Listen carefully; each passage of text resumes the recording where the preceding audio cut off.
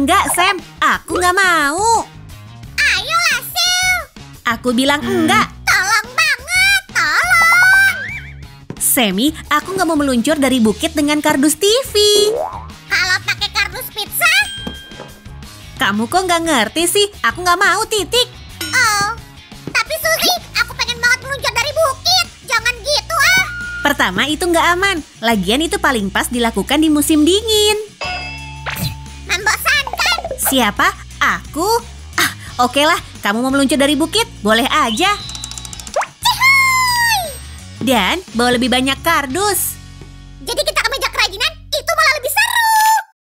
Halo teman-teman, hari ini aku mau buktiin Sam salah besar kalau bilang aku membosankan. Bersama kalian, kami mau bikin jalur balap pegunungan terkeren buat mobil Hot Wheel.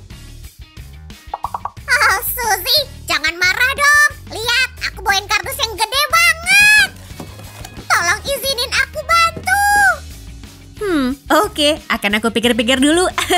Teman-teman, kita mulai dari gunung dan bukitnya. Yuk kita gambar tepi-tepi dan terowongan yang akan dilewati mobil kita. Kayak gini.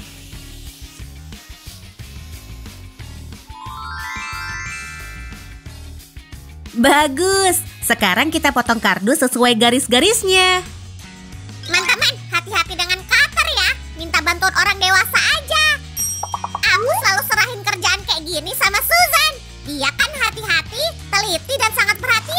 Dan membosankan? Ayolah Suzy, maafin aku dong. Udah aku maafin Semi, aku coba menggodamu. Kamu ceritain hal menarik aja sama penonton. Sementara aku sibuk dengan ini. Dengan senang hati. Jalan di pegunungan dibuat berkelok-kelok. Biasanya berkendara di situ berbahaya. Salah satu jalur berkelok-kelok terkenal berada di Montenegro. Bagian paling berbahaya adalah jalan sepanjang 8,5 km dengan 16 belokan tajam. Wah, jangan sampai lewat situ malam-malam. Nah, sirkuit kita nggak akan sepanjang itu, tapi akan ada beberapa belokan. Yuk kita buat terowongan di sini dan di sini. Hap. Nah, oke. Teman-teman, kita selesai pakai cutternya dan ini hasilnya. Nah, Sil, apa menurutmu jalanan di pegunungan nggak perlu? Indah atau semacamnya? Ah, betul Semi. Kita tanganin sekarang. Wush. Tada! Teman-teman, aku suka sulap kerajinan Suzy. Apa kalian juga? Tekan tombol like kalau iya. Kita mulai dengan langit birunya.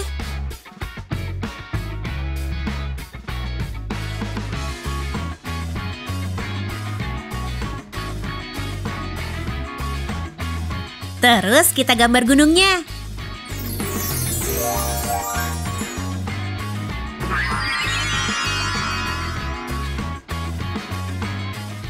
Kayak gini.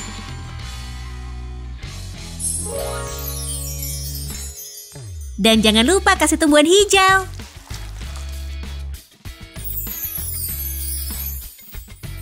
Nah, yuk kita gambar awannya.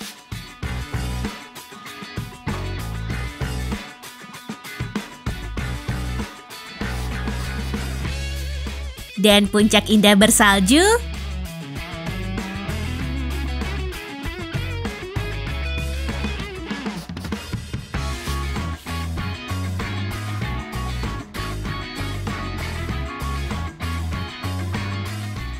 Sempurna.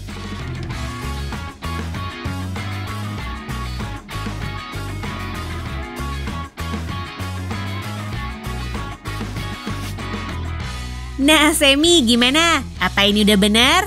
Eh, Semi,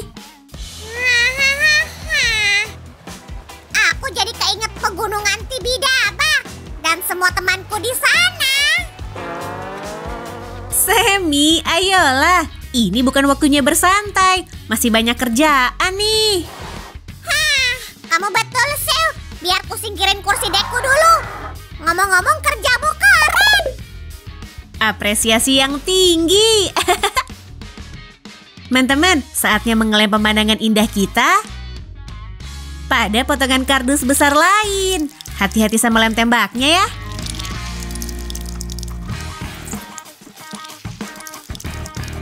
Dan beres. Lihat hasil kerja kita. Terus tambahin dua dinding samping biar seluruh konstruksinya stabil. Hati-hati ya. Lebih baik minta tolong orang dewasa pada tahap ini. Teman-teman ingat, lem tembak itu panas banget. Oke, ini dinding pertamanya. Dan satu lagi, keren.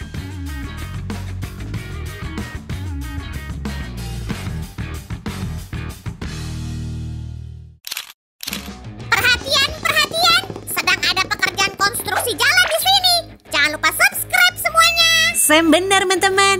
Lanjut bikin jalan buat jalur pegunungan kita. Ini dia.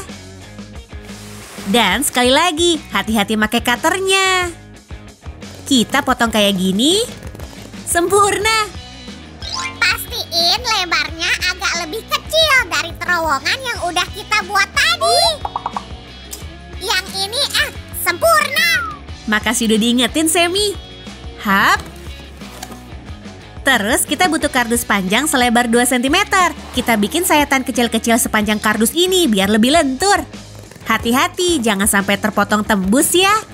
Kayak gini. Apa teman-teman tahu kalau berbagai jalur pegunungan adalah bagian dari balap off-road jarak jauh? Oh, apa itu para pengendara truk yang berlomba adu cepat lintas negara di jalur off-road? Kayaknya aku pernah ngeliat di TV beberapa kali. Oke. Itu penjelasan primitif, tapi benar. Anggota tim harus punya keterampilan navigasi dan kendaraan mereka harus tangguh banget. Yang paling terkenal ya Rally Paris Dakar. Nah, makasih infonya Semi. Tekan tombol like buat ahli rally kita. Dan lihat potongan kardus ini. Ini dibuat dengan cara seperti yang tadi, cuma lebih pendek. Ini mau kita lem di pinggiran dalam bagian ini. Oke. Dan salah satu jalan pegunungan kita akhirnya beres. Keren dan simpel kan? Kayaknya harus kita percepat dekornya. Susan, setel timernya. Dan mulai. Aha, yang ini di sini dan ini ke sana. Ide bagus, Sam. Enggak, enggak bagus. Dan waktu habis. Teman-teman, lihat nih. Bagian ini udah kayak jalan kan? Dan aku suka cat pinggiranmu ini, Semi. Kamu dekorator jalur balap gunung andalan. Oh, makasih, makasih. Tapi satu potong aja jelas nggak cukup buat jalur balap kita. Dan karenanya... Kita udah bikin enam. Tetap di sini, teman-teman. Ini putaran terakhir. Keren. Teman-teman, akhirnya kita nyampe tahap untuk mulai merakit jalur pegunungan kita. Nah, kita butuh bagian dasarnya. Terus kita ambil salah satu bagian jalan dan masukin dengan hati-hati ke dalam lubang kayak gini. Terus putar perlahan. Ini dia. Jangan sampai ada yang rusak, teman-teman. Biar jalur balap kita tetap aman. Cukup. Perhatikan penempatan potongan ini. Salah satu ujung muncul di sini dan ujung lain di sini. Nah, kita bikin bagian ini stabil dengan lem tembak. Hati-hati ya. Oke, tekan dikit. Sempurna. Nah, kita lakuin hal yang sama dengan tiga bagian lain. Hap, satu lagi. Dan satu lagi. Nah, apa pendapatmu tentang jalur ini, Semi?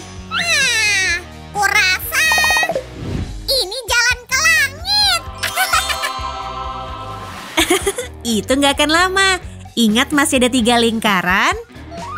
Kita pakai sulap. Buat motong kayak gini. Terus bagian terbesar kita pasang di sini. Pastiin sambungan dengan bagian jalan lain bagus, teman-teman. Nah, bagian yang lebih kecil di sini.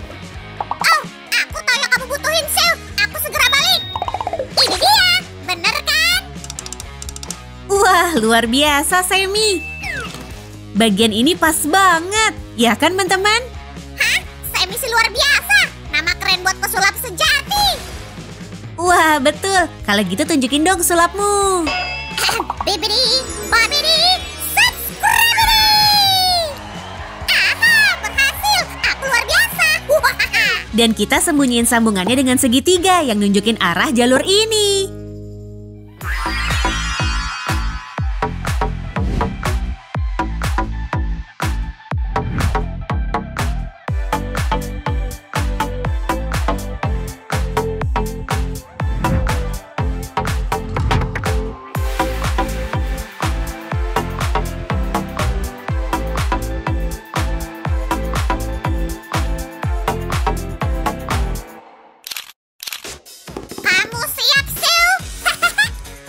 Selalu siap.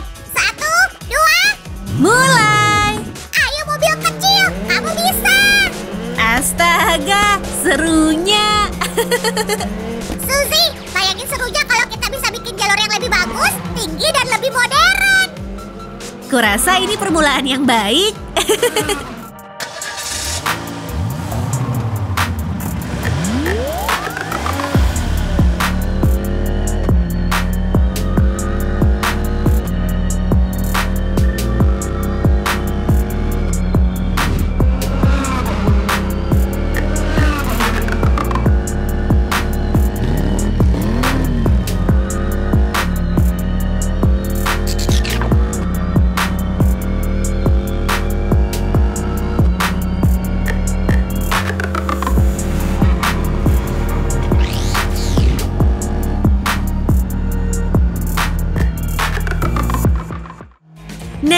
teman-teman suka? Kalau iya, tekan tombol like dan kasih tahu teman-temanmu tentang channel kami ya. Jangan lewatkan video baru kami. Sampai jumpa. Sampai jumpa.